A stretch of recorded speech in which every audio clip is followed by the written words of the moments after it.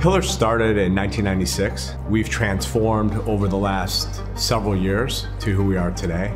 Today we're a custom software development shop that companies, mostly Fortune 100 companies come to uh, with their hardest problems for us to solve.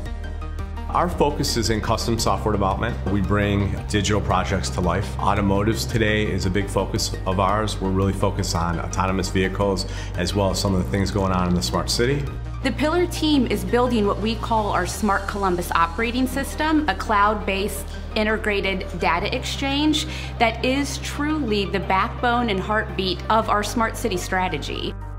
When you think about Amazon, they started off as a bookstore.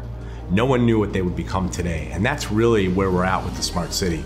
Today, think of it as a bookstore. We're building the operating system, but where it's going to go is endless. There is a true passion among all the people at Pillar for what we're doing at Smart Columbus. They believe in the mayor's guiding principle that mobility is the great equalizer of the 21st century, and they are a major part of bringing that guiding principle to life every single day.